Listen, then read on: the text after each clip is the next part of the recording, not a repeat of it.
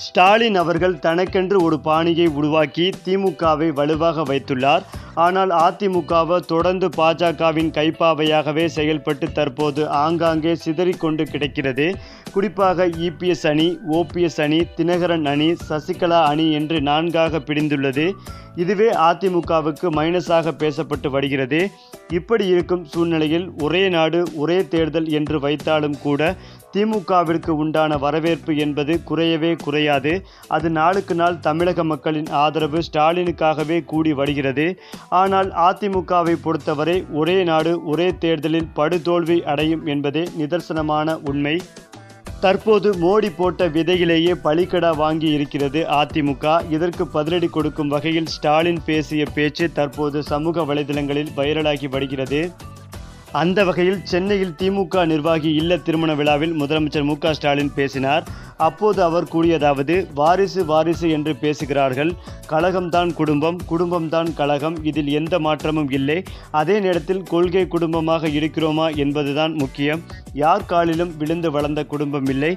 தவழ்ந்து போய் வளர்ந்த குடும்பம் இல்லை. லட்சிய குடும்பமாக கொள்கை குடும்பமாகவே உள்ளோம்.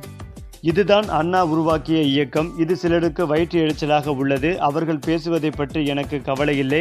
அதே நேரத்தில் இன்றைக்கு நாட்டில் ஏற்பட்டிருக்கும் நிலையை நீங்கள் உணர்ந்து பார்க்க வேண்டும்.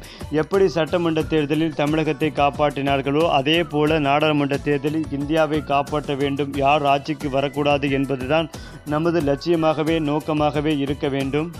இந்தியா என்று சொன்னாலே இன்று பலருக்கு பயம் வந்துவிட்டது. பாஜகவுக்கு அச்சமே வந்துவிட்டது. இந்தியா என்று சொல்வதற்கே அச்சப்படுகிறார்கள்.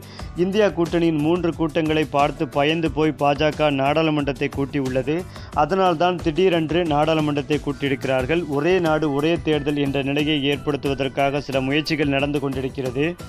ஒரே நாடு ஒரே தேர்தல் எப்படி செயல்படுத்துவது என்பதற்காக ஒரு குழு அமைக்கப்பட்டுள்ளது. இந்த ஒரே நாடு ஒரே தேர்தல் கொள்கையை அதிமுக ஆதரித்து வருகிறது. அவர்கள் ஆளும் கட்சியாக இருக்கும்போது எதிர்த்தார்கள். இப்போது திமுக ஆளும் கட்சியாக இருக்கும்போது அதை அதிமுக ஆதரிக்கிறது. ஒரே நாடு ஒரே தேர்தலால் அதிமுக பலிக்கட ஆகும். அது தெரியாமலே அதிமுக ஆதரித்து வருகிறது.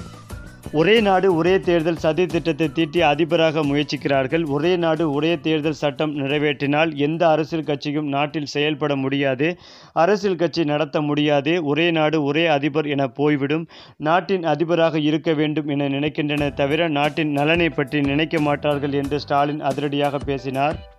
மேலும் அதிமுகவை பலிகடா ஆக்கவே மோடி போட்ட விதையாகத்தான் இது இருக்கும் என்று ஸ்டாலின் காட்டமாக பேசினார் என்பதும் குறிப்பிடத்தக்கது.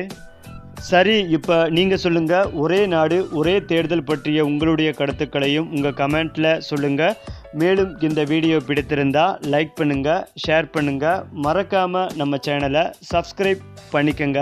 தேங்க்ஸ் ஃபார் வாட்சிங்.